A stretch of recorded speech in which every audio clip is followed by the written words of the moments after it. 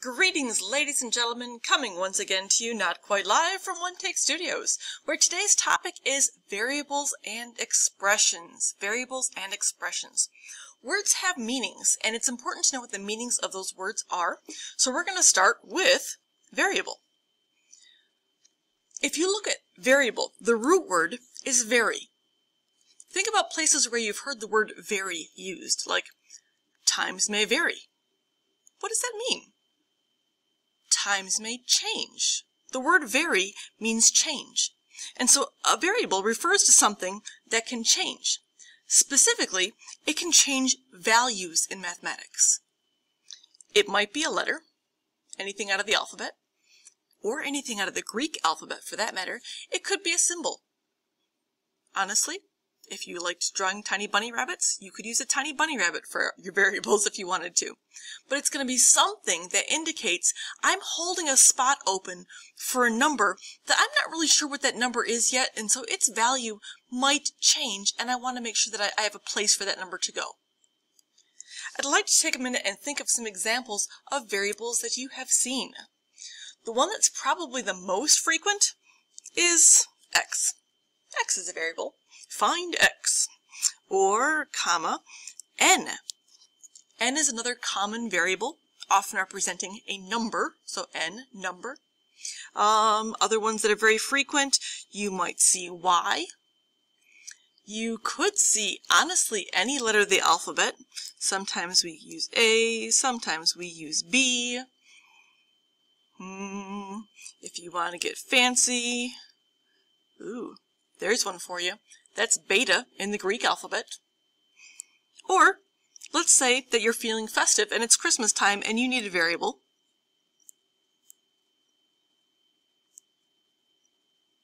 There. Ta-da! There's my Christmas tree variable. it honestly can be anything that you would like. Alright, and so it's going to be oftentimes a letter that we're used to seeing. Sometimes it's a letter we're not used to seeing it. It could be any shape or symbol as well. So these could stand for a number. X might stand for 4. But maybe X stands for 5. We don't know. It can vary. It can change its value. Next up, we are talking about constants. And if we think about the meaning of the word constant, we often refer to our God as being a constant God, a God who does not change. And so same thing in math, a constant is something that doesn't change. The value is going to stay the same. Hmm. Well, if I have something that has a value of 5, what is it? It's a 5. It's an actual number. So if I have a number, just plain old number, no letters of the alphabet, nothing else like that, that's going to be a constant. So maybe, like I said, I use 5 as a constant. Maybe I use 12 as a constant because 12 always means 12. Its value does not change. Maybe I use 4,362 as a constant because that could be as well. But any single number can be a constant because our numbers do not have values that change. All right, so we've got variables, we've got constants. Um, let's do this. Let's make a bullet point next to this so that it stands out, so we know that's the first point on the page.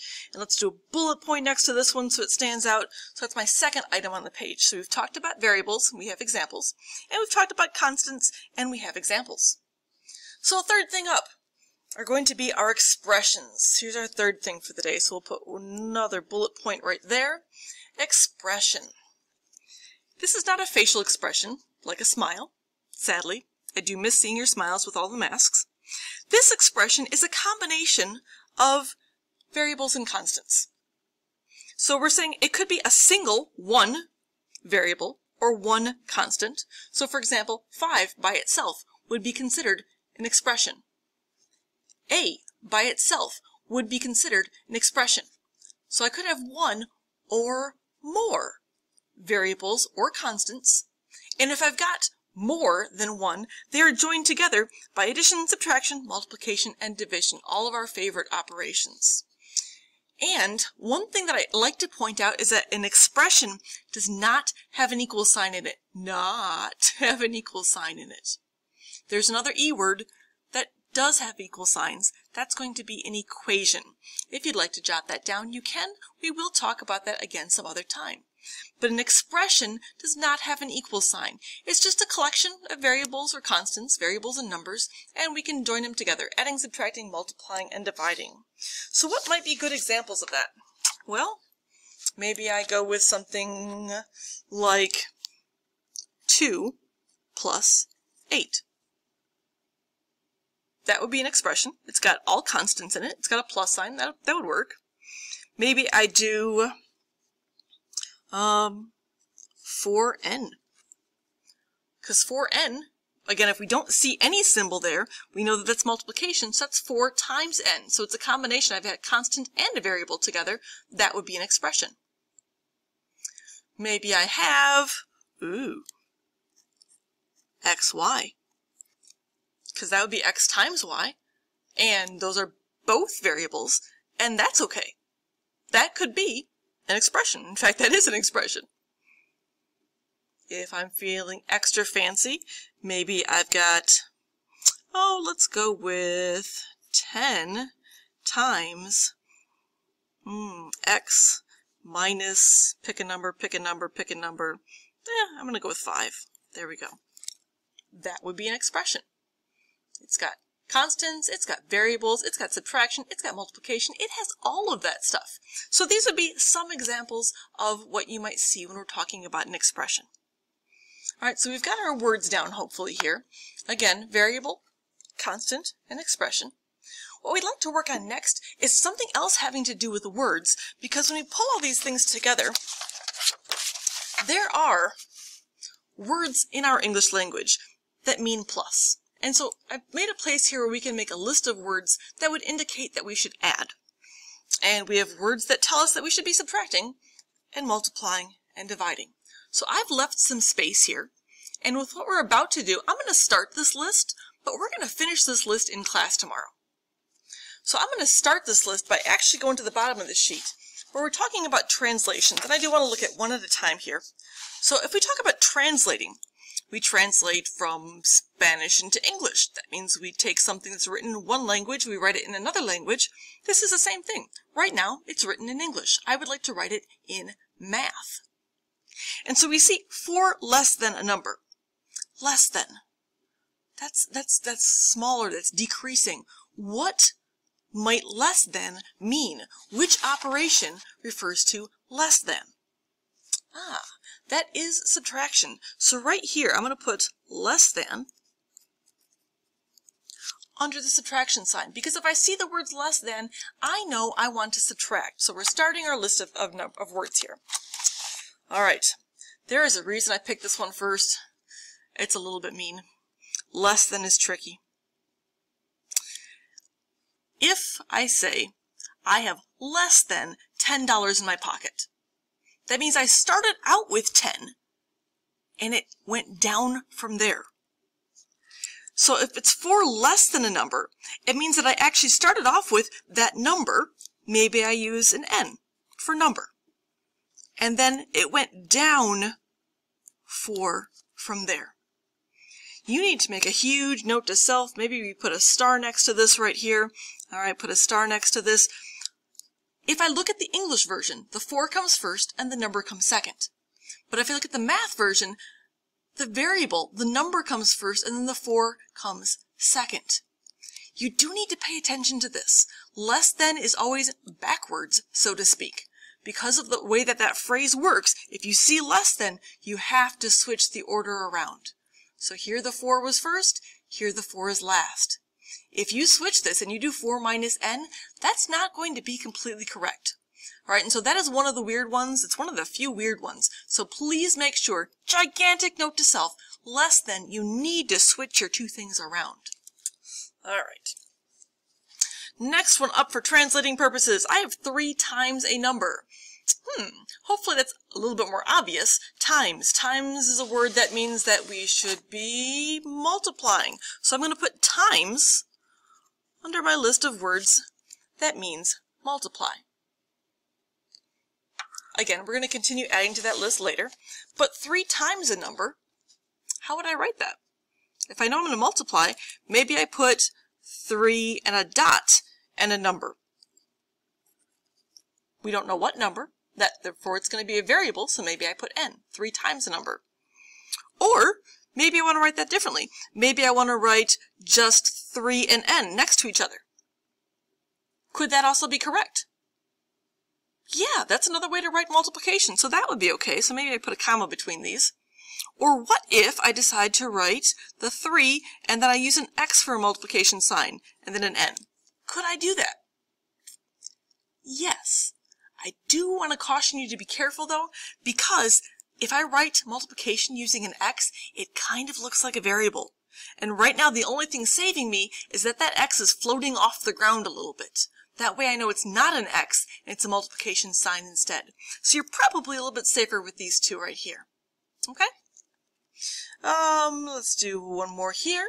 A number increased by 5. Increased by, what does that mean to you? I had 5 guinea pigs. Oops, let's not use 5. I had 2 guinea pigs, and that number increased by 5. That means I have more guinea pigs than I did before, so increased by is a word that means addition, or a phrase that means addition. Increased by. So I'm going to put that in my list of words that means addition, increased by. And so if I have a number increased by 5, I have a number, I don't know what number it is, so I'm going to use a variable. If you're tired of using the letter n, could you use a different letter? Absolutely, go for it. Increased by, increased by, goes up. We are adding on 5, increased by 5. There's our phrase in English. There's our phrase in math. We have translated it. Two more. This one says the quotient of x and 8. The quotient. I brought this one up because this is a word that maybe not a lot of people remember. Quotient is a very, very fancy word that implies division. So we're going to go here and put quotient, Q-U-O-T-I-E-N-T, quotient, under division. Now specifically, specifically, quotient is the answer to a division problem. So I want to show the division problem. So how do I show dividing x and 8? Hmm. This one says specifically that x is going to be my, my variable, so I'm going to use x instead of n this time. And quotient divided by, maybe I do this kind of division sign right here. x divided by 8. That would be the quotient of x and 8. Comma, maybe I do something else. Do you have any ideas? What if I did x divided by 8 and I wrote it that way? That's legal, isn't it? So maybe I do that instead. I could use either one. I don't need to use both, but I could use either one. And maybe you have another idea. We'll find out soon. Alright, last one. This one is a doozy. Pay attention very carefully. You remember that you are making notes. You want to make extra notes to yourself on this one because this one's got multiple things going on. First of all, we've got times times is multiplication, because we did already mention that. But it is also using the word sum. What do you know about sum? Quotient is a fancy word that means the answer to a division problem. Sum is a fancy word that means the answer to an addition problem. So we're going to put that up here. Sum is one of our words that means addition. I want you to focus on the first part of this phrase. 2 times. Don't look at the whole thing. What are we multiplying 2 times? 2 times the sum. That right there, that is the root as far as how all of this gets put together for our translation. So 2 times, how do I write a sum? Well, we said that a sum is an answer to an addition problem. So 2 times, again, if I don't have any symbol here at all, that's times, 2 times the sum. All I need to put in here is my sum. Well, okay, so now I go back. What am I adding? The sum of n and 6. n plus 6. 2 times the whole sum. 2 times, in parentheses, n plus 6. Because of the way that's written, if you don't have the parentheses, you actually don't have the correct answer. So 2 times the sum means 2 times that entire outcome. We are going to get some more practice with this. Again, you should have some notes started. Please make sure that you've got these columns ready to go because we're going to add more things to this. Okie dokie. I'll see you soon. Talk to you later.